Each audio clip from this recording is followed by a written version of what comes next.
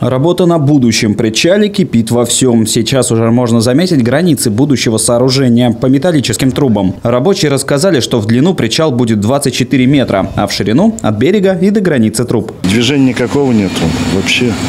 А раньше-то я работал в Рязанском порту, тут такое движение было. Пристань стояла ежегодно, туристические теплоходы ходили. Было кругов... ну, круговое там кольцо было.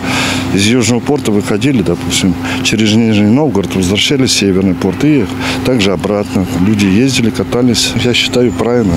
Но все равно прошлый год ставили дебаркадер, чтобы какие-то теплоходы ходят, ведь это туристов-то возят, подходили, на экскурсию в Рязань съездили. Вячеслав бывший речник, как он сам говорит о себе, поэтому и подошел поближе с внуком, чтобы посмотреть на процесс. А появление нового причала ему нравится. Дело в том, что действующий, который находится на Трубеже около Кремля, в полном объеме использовать сложно, при то как и пересыхает. С 2011 года пассажиров крупных лайнеров пересаживали на маленькие катера, чтобы доставить в город, а в последние года к теплоходам людей подвозят на автобусе. Поэтому строительство такого причала – это, по словам специалистов, специалистов модернизации инфраструктуры и речного транспорта в регионе. Вот только строительство вызывает некоторые опасения у местных жителей. Торговый городок – это тот район, который постоянно заливается. И каждую весну мы наблюдаем, что разлив бывает очень разный. Последние годы, конечно, разлив очень слабый.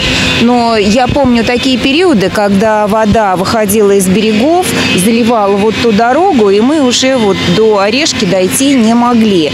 Поэтому сейчас э, есть конечно, определенное опасение, что эта пристань будет залита, и вот тот песок, который здесь есть, все может быть размыто, и, собственно говоря, мы не получим тот результат, на который рассчитывали. Рабочие сообщили, что проектом этот момент предусмотрен. Притом погода самим работам не помешает. Зимой здесь планируют провести сварочные работы, а весной – бетонирование. К маю 2020 года, то есть к началу навигации, причал будет готов, говорят сотрудники. По словам специалистов, общий объем инвестиций в сферу речного транспорта должен составить 560 миллионов рублей. Валерий Седов, Станислав Кудряшов, телекомпания «Город».